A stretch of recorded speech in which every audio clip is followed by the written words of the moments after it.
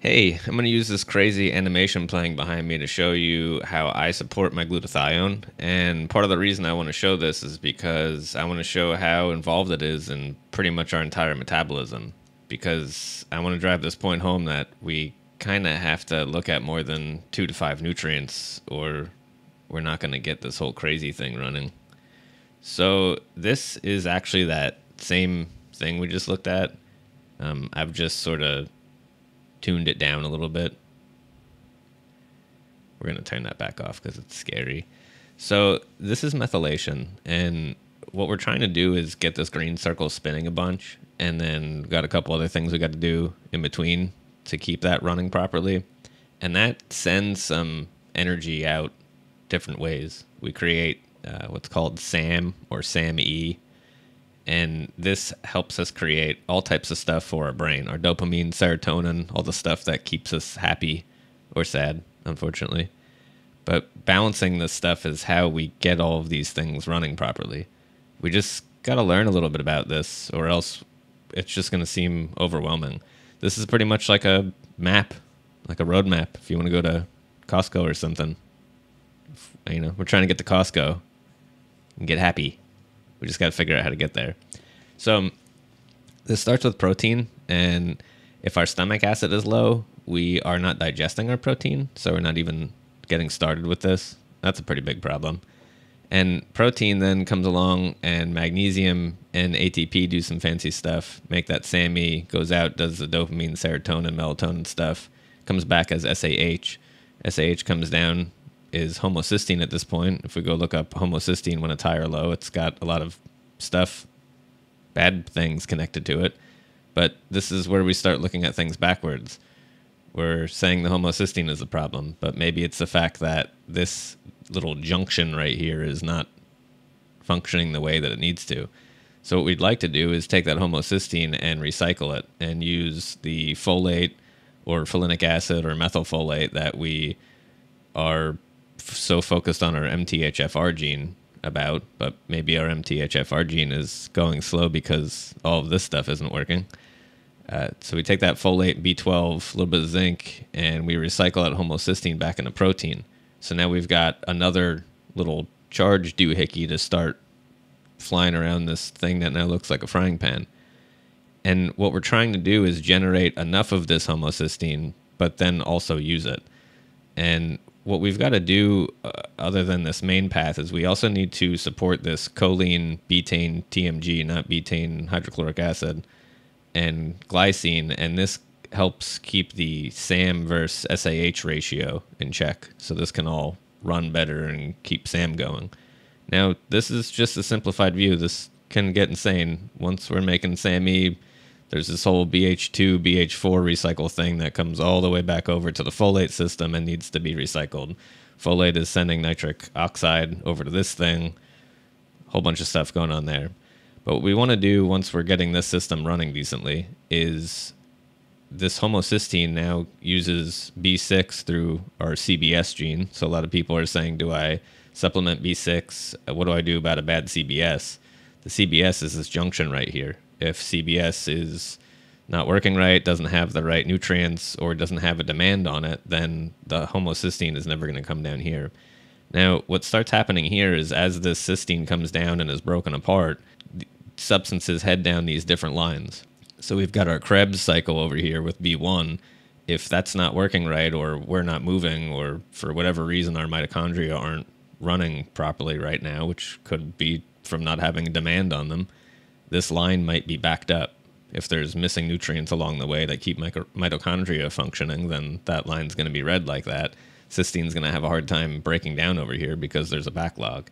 If we don't have molybdenum, or molybdenum isn't being broken down into what's called PAPs and being sent to our biopterin, which is where our SAMe is running, then this line is backed up. But molybdenum is a common thing that we're not getting enough of. That was a huge piece of my healing, even after years of pushing this stuff. But that's likely because I've got the system running, started using it, and then just wasn't getting enough molybdenum to keep up. So if the cysteine does make its way down here, we start generating and recycling glutathione through this. This depends on B2 and B3. B2 is also known as riboflavin, and B3 is also known as niacin. As this is running and we have those extra nutrients to get it around, it's also depending on and utilizing selenium. Now, this right here is a very important piece that a lot of people are overlooking, mislooking, whatever it might be. We're focused on this iron issue over here, but we're missing all of the stuff that supports that. So, the nitric oxide that is partially from folate, there's other needs for enough nitric oxide, generates or is broken down to superoxides, which we need to function because that's why we're breathing oxygen. We're like using it to do stuff. It's part of life, which is eventually broken down to hydrogen peroxide, this H2O2. The selenium is breaking down the hydrogen peroxide into oxygen and water while it's also activating our thyroid hormones. So, about 80% of our thyroid hormone is activated right here in our liver cells if all of this stuff is not working right, we're not able to activate our thyroid hormones. We're not able to break down hydrogen peroxide into oxygen and water. And at that point, we might not be able to use copper to carry it to iron to activate it. Or our copper might be messed up because our copper, zinc, vitamin A seroplasm situation is not functioning. So these things are all super dependent on each other. And another interesting um, aspect to that is the fact that glutathione actually helps protect and chaperone B12 into the cell. So if we're not running this properly and glutathione is not able to run, we're not able to get B12 into the cell.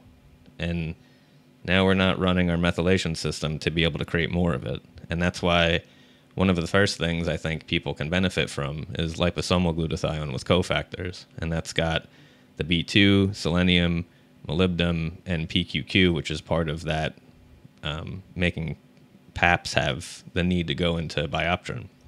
The liposomal allows us to get the glutathione into a broken cell because once a cell is oxidized, it doesn't have enough glutathione, it can't function properly and it can't import and export nutrients and toxins and stuff. So liposomal allows us to bypass that broken cell membrane and get the glutathione in there, which might be carrying B12 along the way and getting it fired up when we have the other nutrients involved, like the B2, B2, selenium, molybdenum, and PQQ, then we can rule out a lot of common situations that might hold back somebody from with glutathione.